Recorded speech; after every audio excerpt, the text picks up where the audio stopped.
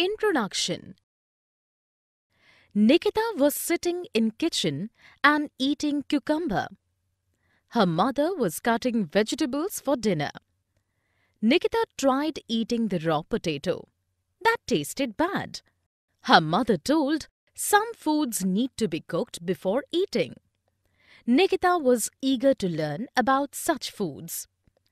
In this lesson, you will learn about food.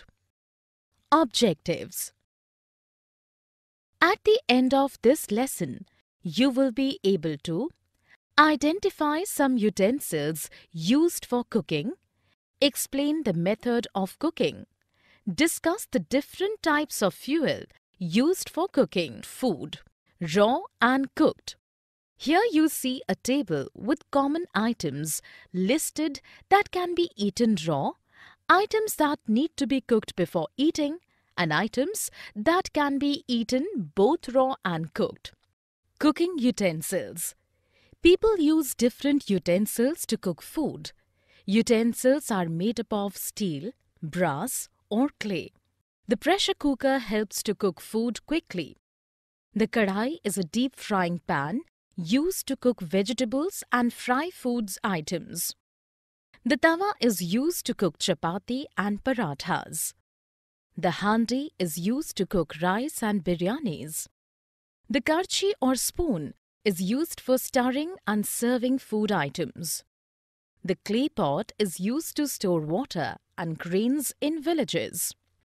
Methods of cooking Many of you must like puris these are deep-fried Indian breads prepared by frying.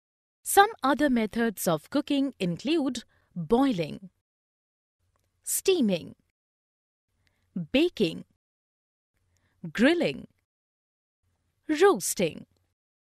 Other methods of cooking Microwave cooking is a comparatively new method of cooking in which food is cooked by microwave radiation.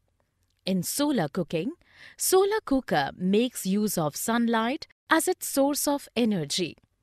Fuel for cooking. We need fuel to cook food. A variety of fuel can be used to cook food such as cow dung cakes, kerosene, coal, sunlight, electricity, gas and wood. Summary let us summarize what we have learned. Food can be eaten raw and after cooking. Utensils are made up of steel, brass or clay.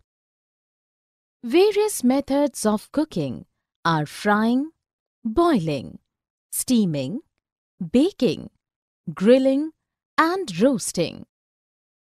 Fuel is used to cook food.